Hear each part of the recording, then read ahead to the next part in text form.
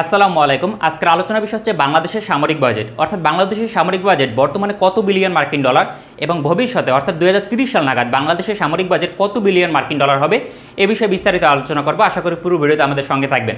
আমি তো জ্যোতিষবিদ্যায় পারদর্শী না, তাই আমি অঙ্ক করে আপনাদের বুঝিয়ে দেবো কত বিলিয়ন ডলার সামরিক বাজেট দু সাল নাগাদ হবে।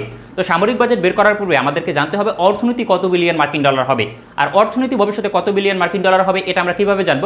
জিডিপির গ্রোথ দেখে আমরা বের করে ফেলব যে কত বিলিয়ন ডলার মার্কিন ডলার হবে দু সাল নাগাদ। তো এই অঙ্কটা আমি অলরেডি কষে রেখেছি গতকালকে রাত্রে। তো অঙ্কটা দেখাই, এটা হচ্ছে ইয়ার প্রতি বছর আর জিডিপির আকার প্রতি, আমাদের প্রতি বছরে যা হবে। আর এটা হচ্ছে ডিফেন্স বাজেট প্রতি বছরে কত বিলিয়ন মার্কিন ডলার এবং ডিফেন্স বাজেট এই মোট যে অর্থনীতি রয়েছে, তার কত পার্সেন্ট ডিফেন্স বাজেটে ব্যয় করা হয়? তো এই বিষয়ে আলোচনা করব। দেখেন দু হাজার একুশ সালে আমাদের অর্থনীতি হচ্ছে, আকার জিডিপির আকার হচ্ছে তিনশো পঁয়ষট্টি বিলিয়ন মার্কিন ডলার দু হাজার বাইশ সালে হচ্ছে তিনশো সাতাশি সালে হচ্ছে চারশো দশ সালে হচ্ছে চারশো চৌত্রিশ সালে চারশো ষাট দু হাজার ছাব্বিশ সালে চারশো সাতাশি দু সালে পাঁচশো ষোলো দু সালে পাঁচশো সাতচল্লিশ সালে পাঁচশো উনআশি এবং দু সালে ছয়শো তেরো। এটা হচ্ছে সিক্স পার্সেন্ট হারে যদি গ্রোথ হয় অর্থনীতি, তাহলে। এখন আপনি আমার সাথে একমত নাও হতে পারেন। আপনি বলতে পারেন আমাদের অর্থনীতির যে গ্রোথ সেটা সাত পার্সেন্ট পর্যন্ত হবে। আবার বলতে পারেন আট পার্সেন্ট পর্যন্ত হবে। আপনি নাই হতে পারেন, আমার সাথে একমত, কোনো সমস্যা নেই। কিন্তু বাংলাদেশের অর্থনীতির যে গ্রোথ, করোনা মহামারীর কারণে দু হাজার বিশ সালে আমাদের অর্থনীতি গ্রোথ ছিল সিক্স পয়েন্ট এইট পার্সেন্ট তার আগের বছরে ছিল এইট পয়েন্ট টু পার্সেন্ট সেক্ষেত্রে অর্থনৈতিক গ্রোথ কিন্তু পৃথিবীতেই পুরো কমে যাচ্ছে, সেক্ষেত্রে বাংলাদেশেরও কমবে ব্যতিক্রম হবে না। আর দু হাজার পঁচিশ সালের পরবর্তী সময় এমনিতেই বাংলাদেশের গ্রোথ অনেকটা কমে যাবে, কারণ বাংলাদেশের অর্থনীতির ভ্যারিয়েশনটা খুব একটা না। এই কারণে বাংলাদেশের যে গ্রোথটা, অর্থনীতির জিডিপির গ্রোথ, সেটা অনেকটাই কমে যাবে। তার ফলে বাংলাদেশের অর্থনৈতিক যে অবস্থা, সেটা একটু সংশোধিত হবে। তাই আমি গড়ে ধরেছি মিনিমাম অর্থাৎ সর্বনিম্ন সিক্স সিক্স পার্সেন্ট থেকে একটু বেশি হওয়ার সম্ভাবনাই বেশি। সেক্ষেত্রে ছয়শো তেরো বিলিয়ন মার্কিন ডলার হবে বাংলাদেশের অর্থনীতি দু হাজার তিরিশ আর যদি সিক্স পয়েন্ট ফাইভ পার্সেন্ট হয়, সেক্ষেত্রে ছয়শো পঞ্চাশ। আর যদি সেভেন পার্সেন্ট হয়, সেক্ষেত্রে সাতশো বিলিয়ন। আর যদি এইট পার্সেন্ট হয়, তাহলে প্রায় অ্যারাউন্ড আটশো বিলিয়ন ডলারের অর্থনীতি হয়।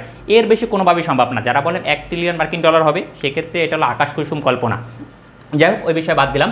তো এটা হচ্ছে জিডিপি বর্তমানে ডিফেন্স বাজেট করতে অর্থাৎ দু হাজার একুশ সালে আমাদের বর্তমান ডিফেন্স বাজেটটা হচ্ছে ফোর পয়েন্ট নাইন পার্সেন্ট আর এটা যদি পার্সেন্টেজ হিসাব করি ফোর পয়েন্ট নাইন পার্সেন্ট তিনশো পঁয়ষট্টির কত পার্সেন্ট আসে? ওয়ান পয়েন্ট ফোর পার্সেন্ট এখন বলে রাখি, দেখেন one point four percent four billion dollar বর্তমানে বাজেট বাংলাদেশের সামরিক বাজেট আসলে একটা দেশের যখন অর্থনীতি সাত পার্সেন্টের উপর জিডিপি গ্রোথ থাকে আর একটা উন্নয়নশীল দেশ হয়, তাহলে আইএমএফ অর্থাৎ আন্তর্জাতিক মুদ্রা তহবিলের রিকোয়ারমেন্ট অনুযায়ী আপনার সাত তিন পার্সেন্ট পর্যন্ত জিডিপির সামরিক খাতে ব্যয় করলেও সে দেশের কোনো সমস্যা হয় না। অর্থাৎ অর্থনৈতিক খাতে কোনো চাপ পড়ে না, তেমন একটা। তো বাংলাদেশের যে বাজেট সেটা ওয়ান পয়েন্ট ফোর পার্সেন্ট অর্থাৎ তিন শতাংশ থেকে অর্ধেকের চেয়েও কম। অর্থাৎ সামরিক বাজেট কিন্তু আমাদের অর্ধেকের চেয়েও কম ব্যয় করতেছে বাংলাদেশ সরকার। আসলে সেটা কোনো এক অদৃশ্যমান কারণ হতে পারে, অথবা অভ্যন্তরীণ কোনো চাপ থাকতে পারে, অথবা ভারতের কোনো চাপের কারণে বাংলাদেশের যে ডিফেন্স বাজেটের পার্সেন্টেজ সেটা অর্ধেকের চেয়েও কম। সেটা এত কম কেন সেটা আমি বলতে পারব না। আর সেক্ষেত্রে আমরা যদি ইতিহাস দেখেন, আমি এই বিষয়ে আলাদা করে একটা ভিডিও দিচ্ছি বাংলাদেশের ডিফেন্স বাজেটের ইতিহাস নিয়ে। সেই বিষয়ে ভিডিওটার লিঙ্ক ডিসক্রিপশন বক্সে দিয়ে দেবো, আপনারা ওখান থেকে দেখে নেবেন। বাংলাদেশের ইতিহাস, অর্থাৎ সৃষ্টিলগ্ন থেকে উনিশশো একাত্তর সাল থেকে বর্তমান পর্যন্ত বাংলাদেশের ডিফেন্স বাজেট কখনো দুই শতাংশের বেশি অতিক্রম করেনি।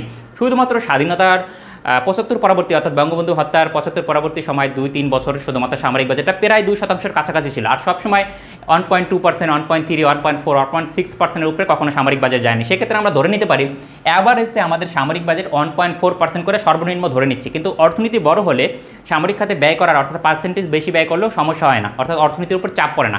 সেক্ষেত্রে তারপর আমরা সর্বনিম্ন ধরে নিচ্ছি, তারপরও বিস্তারিত বড় করলে কত বিলিয়ন ডলার হয় সেটাও বলে দেবো। তো দু হাজার বাইশ সালে যদি ওয়ান পয়েন্ট ফোর পার্সেন্ট হারে হয়, তাহলে বাংলাদেশের সামরিক বাজেট কত হবে? পার্সেন্টেজ হারে চিন্তা করতে গেলে। এখানে দেখতে পাচ্ছি four point five point four billion dollar five point four billion dollar হয়ে হলো আমাদের অর্থনীতি ইয়া আর এটা হলো, এটা সবগুলো ওয়ান পয়েন্ট ফোর পার্সেন্ট হবে। তার পরবর্তী বছর কত বিলিয়ন ডলার হবে? তার পরবর্তী বছর হবে হলো five point seven billion dollar five point seven billion dollar তার পরবর্তী বছর ওয়ান পয়েন্ট ফোর পার্সেন্ট হারে বৃদ্ধি করলে আমরা দেখতে পাচ্ছি six point zero eight billion dollar হয়। Six point zero eight billion dollar তার পরবর্তী বছর দেখতে পাচ্ছি six point four billion dollar হয়। Six point four billion dollar এটা হচ্ছে দু হাজার পঁচিশ সালে six point four billion dollar আমাদের বাজেট হচ্ছে। ওয়ান পয়েন্ট ফোর পার্সেন্ট হারে যদি ব্যয় করা হয়। তারপরে বছর হবে হলো six point eight six point eight billion মার্কিন ডলার দু হাজার সাতাশ সালে কত হবে? সেভেন পয়েন্ট টু বিলিয়ন মার্কিন dollar seven point two billion মার্কিন ডলার তার পরবর্তী বছর হবে seven point eight seven point six billion seven point six billion মার্কিন ডলার তার পরবর্তী বছর হবে এইট পয়েন্ট ওয়ান বিলিয়ন মার্কিন ডলার অর্থাৎ দু হাজার উনত্রিশ সালে এইট পয়েন্ট ওয়ান বিলিয়ন মার্কিন ডলার আমাদের ডিফেন্স বাজেট হবে। এবং সর্বশেষ দু সালে দেখতে পাচ্ছি আমরা এইট পয়েন্ট সিক্স বিলিয়ন মার্কিন ডলার আমাদের ডিফেন্স বাজেট হয়। এটা যদি ওয়ান পয়েন্ট ফোর পার্সেন্ট হারে বৃদ্ধি পায়, ঠিক আছে?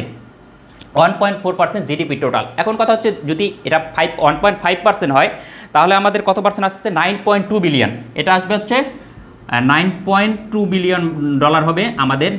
যদি ওয়ান পয়েন্ট ফাইভ পার্সেন্ট হারে গড়ে ব্যয় করে, তাহলে আমাদের ডিফেন্স বাজেট হবে হচ্ছে আপনার নাইন পয়েন্ট টু বিলিয়ন মার্কিন ডলার যেটা মোটামুটি একটা চলার মতো। কিন্তু কথা হচ্ছে এই eight point six billion dollar দিয়ে বাংলাদেশের যে সামরিক বাজেট সেটা দু সাল নাগাদ পৃথিবীর মধ্যে কততম অবস্থানে থাকবে? তো বর্তমানে বাংলাদেশের সামরিক বাজেট অর্থের আকারের দিক থেকে পৃথিবীতে একান্নতম অবস্থানে রয়েছে। কিন্তু সেটা যদি eight point six billion dollar হয় দু সাল নাগাদ, তাহলে দেখা যাবে বাংলাদেশ সেরা চল্লিশের মধ্যে চলে আসতে পারবে। এখন বলতে পারেন অন্যরা কি আগাবে না? বাংলাদেশ আগাবে, অন্যরা তো অর্থনীতির দিক থেকে আগাবে। কিন্তু আগাবে, কিন্তু বাংলাদেশের অর্থনীতি যে ভাবে আগাবে পৃথিবীর অন্য অন্য দেশের অর্থনীতি কিন্তু একইভাবে আগাবে না। এশিয়ার মধ্যে বাংলাদেশের অর্থনীতি যে জিডিপি গ্রোথ সেটা আপনি সেরা পাঁচটা দেশের মধ্যে একটা। তো সেক্ষেত্রে আমরা বলতে পারেন, আমাদের অর্থনীতি যেহেতু আগাচ্ছে, সেক্ষেত্রে সামরিক বাজেটটার পার্সেন্টেজ আরে বেশি না করলেও আমাদের eight point six billion dollar দিয়ে দুই সালের মধ্যে সেরা চল্লিশের মধ্যে চলে আসব। কিন্তু এটাকে যথেষ্ট আপনার কাছে কি মনে হয়? সেটা এটা যথেষ্ট? অবশ্যই যথেষ্ট নয়। কারণ আমাদের পার্শ্ববর্তী দেশ ভারতের সামরিক বাজেট দুই সাল নাগাদ সম্ভবত একশো বিলিয়ন মার্কিন ডলার অতিক্রম করতে পারে বা কাছাকাছি যাবে। আর মিয়ানমারের সামরিক বাজেটের কথা বাদ দেন, কারণ মিয়ানমার একটা সামরিক জান্তা শাসিত সরকার, সেক্ষেত্রে তাদের সামরিক খাতে বাজেট যাই হোক না কেন, তারা মানে আনলিমিটেড সমরাস্ত্র কেনাকাটা করে। এই বছর সম্ভবত তারা তিন থেকে চার বিলিয়ন ডলারের সমরাস্ত্র অর্ডার করে ফেলেছে রাশিয়া, চীন সহ অন্যান্য দেশ থেকে। কারণ সামরিক সরকার ইচ্ছা মতো ব্যয় করে এবং অন্য অন্য খাতে দেখিয়ে দেয় যে তারা ব্যয় করতেছে রাষ্ট্রের উন্নয়নে, কিন্তু সামরিক খাতে তারা ব্যয় করে ফেলেছে। সেই ক্ষেত্রে দেখা যাচ্ছে eight point six billion dollar কিংবা nine one point five percent হলে nine point two percent two billion dollar এটা যথেষ্ট নয়। সেক্ষেত্রে সর্বনিম্ন যদি টু পার্সেন্ট ব্যয় করা হয় দু সাল নাগাদ, তাহলে বাংলাদেশের অর্থনীতির উপর একটা চুল পরিমাণ আজ পড়বে না। অর্থাৎ কোনো ধরনের সমস্যা হবে না যদি টু পার্সেন্ট সামরিক খাতে ব্যয় করা হয়। সেক্ষেত্রে আমাদের সামরিক বাজেট কত হবে? যদি টু পার্সেন্ট হারে ব্যয় করা হয়। টু পার্সেন্ট হারে ব্যয় করা হলে আমাদের সামরিক বাজেট হবে আপনার বারো দশমিক দুই বিলিয়ন মার্কিন ডলার। বারো দশমিক দুই বিলিয়ন মার্কিন ডলার। বারো দশমিক দুই বিলিয়ন মার্কিন ডলার বাংলাদেশের সামরিক বাজেট যদি দু সাল নাগাদ হয়, তাহলে সেরা পঁয়ত্রিশের মধ্যে আমাদের সামরিক বাজেট চলে যাবে। সেক্ষেত্রে বাংলাদেশের যেহেতু আপনার, আমাদের সেনাবাহিনীর যে ব্যয়, সেটা কিন্তু অন্য অন্য দেশের তুলনায় কম। যেমন ওয়েস্টার্ন কান্ট্রিগুলোতে এক একজন শ্রমিকের পিছনে অনেক বেশি ব্যয় করতে হয়। যেমন ধরেন compare to China and US ইউএসের একটা সেনাবাহিনীকে পালতে, অর্থাৎ পালন করতে আপনার যে পরিমাণ বাজেট যায়, তার পাঁচ ভাগের এক ভাগ যায় হলো চীনের একজন সৈনিককে পালন করতে।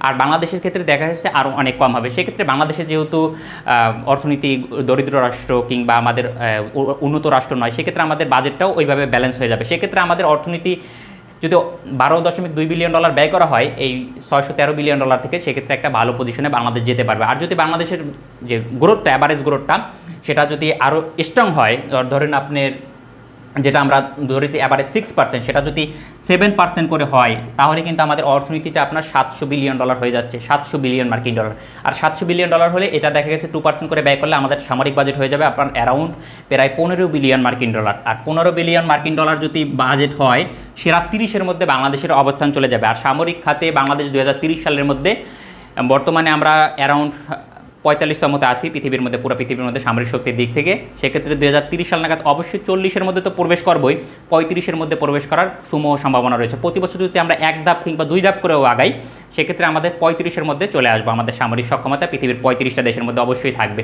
তো সেক্ষেত্রে একটা ভালো সক্ষমতা বলা চলে, তবে সামরিক খাতের বাজেট যে কোনো মূল্যে হোক আপনার টু পার্সেন্ট করতেই হবে। এছাড়া যদি না করে, তাহলে ভারত কিংবা মিয়ানমার এদের সাথে কম্পেয়ার করা আমাদের পক্ষে কঠিন হয়ে যাবে। কারণ ভারতের একশো বিলিয়ন ডলার সামরিক বাজেট সেক্ষেত্রে তাদের অনেক প্রতিদ্বন্দ্বী আছে। তখন চীনের সামরিক বাজেট হয়তো পাঁচশো বিলিয়ন মার্কিন ডলার না হোক, অন্তত সাড়ে তিনশো বিলিয়ন মার্কিন ডলার হয়ে যাবে, সাড়ে তিনশো কিংবা চারশো বিলিয়ন মার্কিন ডলার হয়ে যেতে পারে। আর পাকিস্তানের বাজেট বর্তমানে দেখে দেখেন আপনি অ্যারাউন্ড বারো বিলিয়ন মার্কিন ডলারের মতো সামরিক বাজেট। আর আরব বিশ্ব সহ অন্যান্য দেশ থেকে তাদের ব্যবসা বাণিজ্য থেকে আরও আট বিলিয়ন ডলার এখানে যোগ হয়।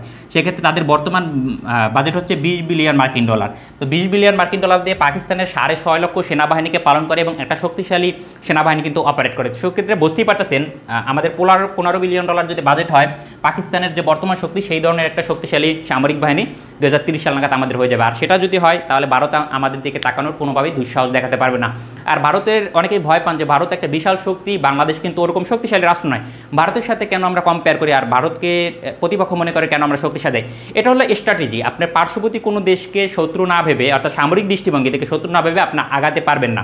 কারণ যুদ্ধ শুরু হলে আপনার আমেরিকার সাথে যুদ্ধ হবে না, কিংবা ইউরোপের কোনো দেশের সাথে যুদ্ধ হবে না। যুদ্ধ হলে হবে ভারত অথবা মিয়ানমারের সাথে, কারণ পার্শ্ববর্তী দেশ, যে কোনো ক্রাইসিসে যুদ্ধ হতেই পারে। কারণ একাধিকবার যুদ্ধ পরিস্থিতি তৈরি হয়েছে ভারতের সাথে মিয়ানমারের সাথে সেক্ষেত্রে ভবিষ্যতেও এটা হবে। কিন্তু ভারতকে ভয় পেলে চলবে না। ভারতকে আমরা পরাজিত করতে সক্ষম। কারণ মিয়ানমার আপনার এদিকে চীনের মতো একটা বিশাল শক্তিশালী একটা অর্থনৈতিক শক্তি, সামরিক শক্তি অ্যাডভান্স টেকনোলজির দেশ, তাদের সাথে ব্যালেন্স করে, পাকিস্তানের সাথে ব্যালেন্স করাই ভারতের পক্ষে কঠিন হয়ে যায়। কিন্তু চীন এইভাবে চাপ দেয় না ভারতকে। এই কারণে এখনও পর্যন্ত পাকিস্তানের সীমান্তে স্ট্রং পজিশনে ভারত থাকতে পারে। তবে এটা অস্বীকার করার উপায় নাই যে ভারতের সামরিক শক্তি পাকিস্তানের তুলনায় প্রায় দ্বিগুণ। তো সেক্ষেত্রে বোঝা যাচ্ছে ভারত একটা স্ট্রং রাষ্ট্র, কিন্তু তাদেরকে পাকিস্তান এবং চীনের সাথে ব্যালেন্স করে বাংলাদেশের দিকে মনোযোগ দেয় তারা সুযোগ পাবে না। তিন দিক থেকে ঘিরে রাখলে ভারত অনেক চাপে থাকবে। সেক্ষেত্রে বাংলাদেশ অবশ্যই ভারতকে মাথায় রেখে যদি সামরিক বাজেটটা করে, অবশ্যই পনেরো বিলিয়ন ডলার আমাদের সামরিক বাজেট হয়। আর অথবা যদি সেটা সিক্স পার্সেন্ট গ্রোথ হয়, তাহলে বারো দশমিক দুই বিলিয়ন ডলার সামরিক বাজেট হলে অবশ্যই একটা পারফেক্ট সামরিক বাজেট হবে এবং বাংলাদেশ একটা শক্তিশালী অবস্থানে অবশ্যই থাকবে। আশা করি আলোচনা মোটামুটি হলেও বুঝতে পারছেন। আর এই বোর্ডটা কীরকম বুঝতে পারছেন আমি জানি না। তারপর ভালো থাকবেন। পরবর্তীতে কোনো বিষয়ে জানার থাকলে অবশ্যই কমেন্ট করে জানাবেন, আমি প্রশ্নের রিপ্লাই দেওয়ার চেষ্টা করব। আসসালামু আলাইকুম।